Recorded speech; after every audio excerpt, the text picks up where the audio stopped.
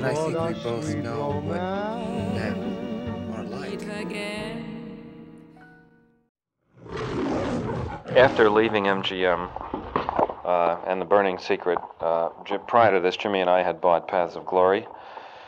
I did a screenplay with Jim Thompson and Calder Willingham, and uh, nobody wanted to do it. It was turned down by every company until uh, our agent, Ronnie Lubin, interested Kirk Douglas in the project.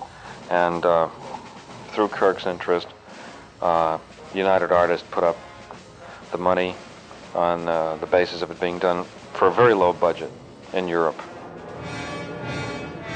War began between Germany and France on August 3rd, 1914. This is followed by about six months spent working on a script for Kirk Douglas, which he didn't like and was abandoned, and uh, some more months working on something which Gregory Peck was supposed to do for us, which was also abandoned because it wasn't liked. Followed by uh, the offer from Marlon Brando to direct his Western, which resulted in six months of work.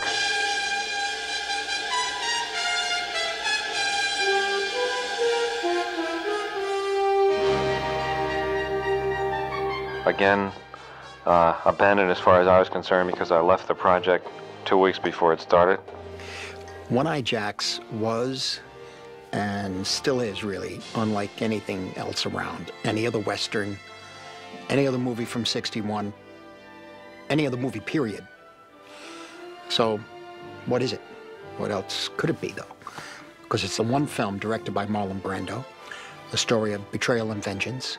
And when it came out, we were all so excited. Of course, uh, the first film he had directed, we expected the unexpected, and that's what we got. The picture is adapted from a novel by Charles Neider, uh, a Mark Twain scholar, and it was based on the story of Billy the Kid. And Brando originally had Sam Peckinpah to write the adaptation, and Stanley Kubrick was to direct. But Brando wound up working with the writer Guy Trosper and ultimately directing the film himself. Of course, Stanley uh, Kubrick was the first director of One-Eyed Jacks, and Brando was going to be in it. And uh, they, you know, uh, at first, of course, it was a great mutual admiration. I mean, Stanley Kubrick is an extraordinary director.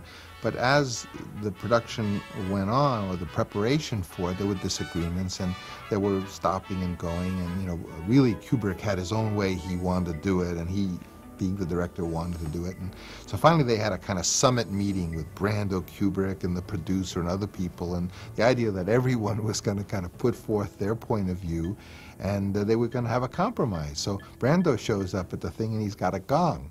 And he says, okay, everyone now speak for exactly two minutes, and at the end of two minutes, everyone give their point of view, and then at the end of two minutes, I'm going to hit the gong and the next person. So the producer talked, you know, for two minutes, and Marlon hit the gong, and he stopped, the next guy did. So finally, it was Kubrick's well, Kubrick was the director, and he started explaining his concept, apparently, and I was not there, but I heard the story. And he's explaining his concept, and he starts really, you know, Brando is like looking at his watch and not listening, you know, and, and of course this is frustrating to Kubrick because he was trying to really say what he was going to do, and it was very annoying that Brando was just there with the gong, you know, going like that. So Kubrick's in the middle of his thing, and Brando goes bong and hits the gong. You know, Kubrick kept talking, and it didn't feel he had communicated. And, and Brando hit the gong again, hit the gong, and Kubrick got so mad he like he quit the production, and so Brando directed it. And um, after pre-production, uh, I think really close to the beginning of shooting, um, that's when Kubrick realized he wasn't going to stay on the picture, and he left. He went to England and never came back.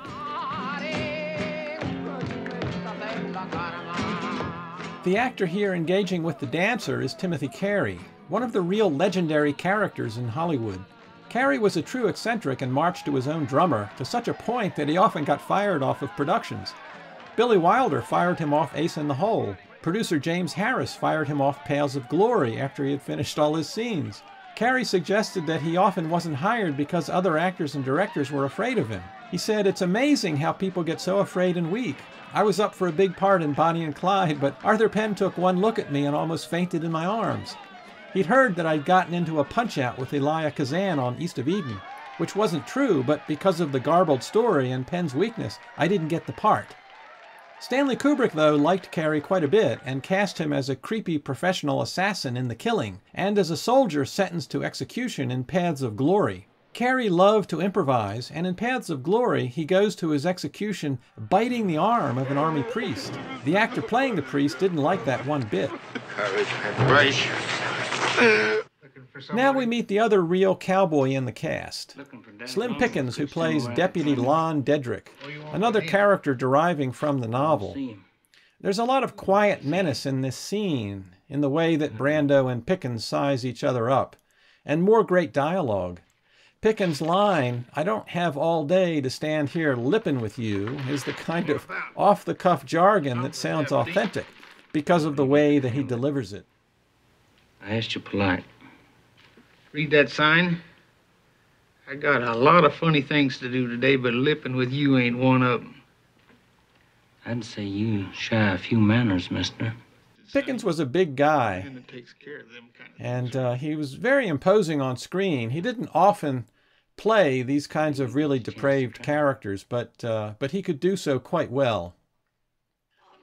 Slim Pickens is awfully good throughout the film as this hawking character. Like Ben Johnson, he'd been a professional cowboy, and boots, jeans, and a cowboy hat were his everyday dress in life. He was still a bit player in movies at this time, but in a few years with Dr. Strangelove, he had his big breakthrough. He played a folksy cowboy character in Dr. Strangelove, piloting a B 52 bomber over Russia and riding an atomic bomb to obliteration like he was a wrangler on a Bronco.